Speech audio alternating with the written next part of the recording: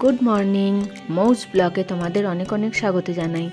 আজকের ভিডিওটা যারা দেখছ, তাদেরকেও অসংখ্য অসংখ্য ধন্যবাদ জানিয়ে ভিডিওটা শুরু করলাম। আর যারা এখনও আমাকে এতটা সাপোর্ট করেছ এত দূর এগিয়ে নিয়ে গেছো, তাদেরকেও অসংখ্য অসংখ্য ধন্যবাদ জানাই। তো আজকে ভিডিও শুরু করলাম আমি। তো আমি দেখতে পাচ্ছ, আমার ছেলে স্কুল চলে গেল, আর আমি গ্রিন টি নিয়ে বসে গেছি।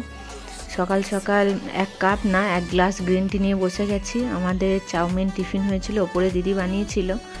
তো আমরা, আমি, মা, দিদি টিফিন করতে বসে গেছি। মা শিলনোড়ায় মশলা বেটে দিচ্ছে, পোস্ত বেটে দিচ্ছিল।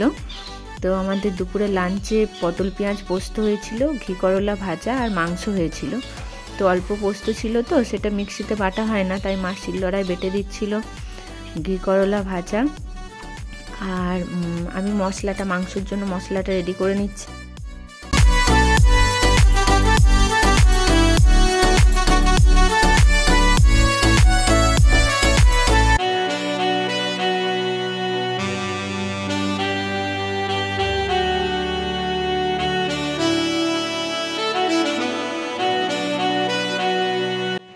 তো এখন আমি চিকেনটা রান্না বসিয়ে দিই। কড়াইয়ে তেল দিয়ে দিয়েছি, মশলা আমার বাটা হয়ে গেছে।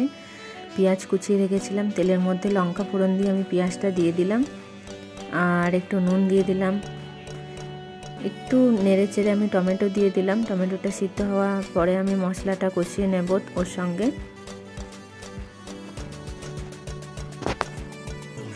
ওটা ভাজতে দিয়ে আমি ততক্ষণ মিক্সিটা পেঁয়াজ টিয়াজ বাটা হয়েছিল তো, তার জন্য আমি একটু মুছে নিই। আমাদের পেঁয়াজ, রসুন বাটা হলে মিক্সি মুছে নেওয়া হয়।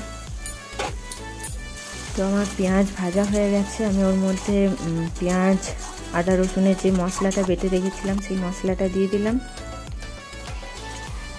আমার লঙ্কা বাটা দেওয়া হয়নি ওর মধ্যে, কেননা আলাদা করে মা লঙ্কা বেটে দিয়েছিল, কেননা আমার ছেলে ঝোলটা খায়, আমার ছেলে মাংস খায় না, মাছ, মাংস কিছুই খায় না, শুধু ডিম খায়। তো সেই জন্য আলাদা করে মা লঙ্কা বেটে দিয়েছিল, যাতে ছেলেটার ঝাল না লাগে। তো এখন দেখতে পাচ্ছ আমি একটু চিকেনের চিকেন মশলা দিয়ে দিলাম ওর মধ্যে। চিকেন মশলাটা হাওয়া পেয়ে গেছিল বলে ওর কালারটা একটু মানে কেমন হয়ে গেছিল জমা জমা পাড়া।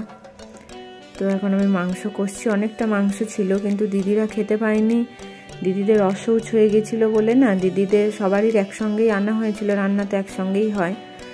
তো আনা হয়েছিল যে খাওয়া, একসঙ্গে খাওয়া দাওয়া হবে বলে। কিন্তু দিদিদের অসৌচ হয়ে যাওয়ার জন্য দিদিরা খেতে পায়নি। তো আমার ছেলের জন্য ঝাল ছাড়া আগে একটু মাংস তুলে নিচ্ছি। তারপরে আমি লঙ্কা বাটাটা দিয়ে দেব। আমার ছেলে মাংস খায় না, তা সত্ত্বেও একটু তুলে রাখলাম। যদি খায়, ও শুধু মেটেটা খায়, কিন্তু মাংস একদমই খায় না। ওর জন্য আমাদের মাছ হোক, মাংস হোক, ঘরে আলাদা করে ডিমের অমলেট বানাতেই হয়। দেখো, ভাত হয়ে গেছে। ভাত এখন হাঁড়িতে মা ফ্যান ঝরাবে। বাবা খেতে বসে গেল, একটা বেজে গেছে।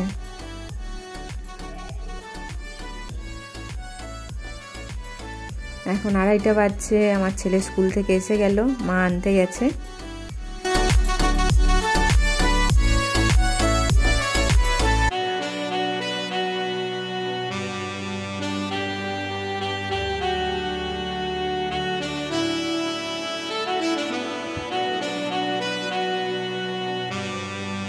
দেখেছ আমার ছেলে খেতে বসেছে, কিন্তু ও মাংস খাই না, এমনি ঝোলটা দিয়ে একটু মাখিয়েছি, ওর জন্য আলাদা করে আমাকে অমলেট বানাতেই হয়। আর এটা হচ্ছে রাত নটা বাজছে এখন। আমরা গল্প জুড়ে দিয়েছি, আমাদের সকাল থেকে দিদিভাইদের একটু অসৌচ এসব হয়ে যাওয়ার জন্য কেউ মারা গেছে, তো তার জন্য আমাদের সকালের দিকে গল্প কিছু হয়নি। তো আমরা রাতে গল্প জুড়েছি মানে সাড়ে দশটা এগারোটা পর্যন্ত আমরা শুধু গল্প করে গেছি, সেই দিনে রাতে। দিদিভাই যে কেউ মারা গেছিল, তো রিয়ান এগরোল খাচ্ছে।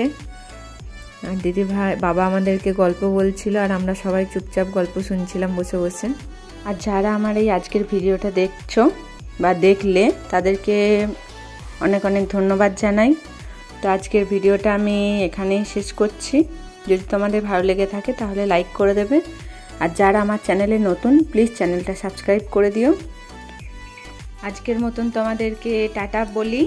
দেখা হচ্ছে পরের ভিডিওয়ে।